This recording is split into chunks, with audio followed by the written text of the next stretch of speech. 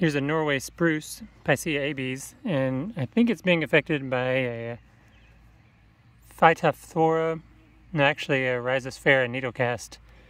And you can see how the inside older growth is dying back and only the newer buds are still green here. And um, I'm almost 100% sure it's Rhizosphaera needlecast. The interesting thing about it is that Norway spruce is supposed to be one of the most resistant species.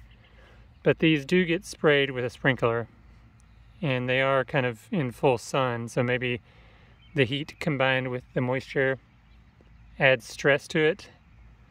And let me see if I can show you up close one of the um, needles so you can see the fruiting bodies of this. Let's get in really close here. Okay, if you look really closely, you can see, the, especially right here, see the little black dots on the needles? You can really see it. Try again. It's very small. If I had a magnifying glass, it would be a lot more obvious.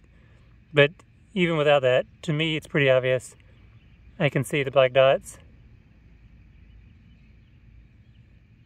See that? That's the fruiting body of the Rhizosphaera needlecast fungus. What I'm doing now is I'm trimming out all of the branches on the bottom that have been mostly affected. And that won't necessarily save the tree, but it, it may slow the spread, especially to other trees. I have another Norway spruce right next to it.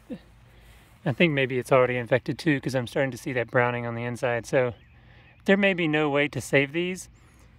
The interesting thing is, right next to that, I have the oriental spruce, Picea orientalis. And these are supposed to be pretty resistant as well. So they'll get the chance to prove their resistance if they're right next to a tree that is either badly infected or dies from Rhizosphaera needlecast. And this is really kind of the whole point of my spruce experiment in Tennessee is just to try a bunch of different spruce species and see which ones can withstand heat, humidity, a sprinkler, whatever it is, local fungus.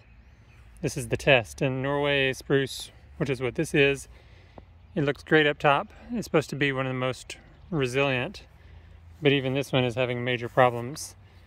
And that same fungus, Rhizosphaera, is the reason I don't plant Colorado blue spruce, because those would probably die almost within immediately, first year probably. So Norway is most resistant, and even this one has problems, which just goes to show you how heavy the fungal density is in this place. I mean, it really is a, uh, a high fungus area. We've got the Phomopsis tip blights, we've got, probably got Kabatina, we've got Rhizosphaera needlecast. Tennessee is just very much a, a hard place for conifers to survive.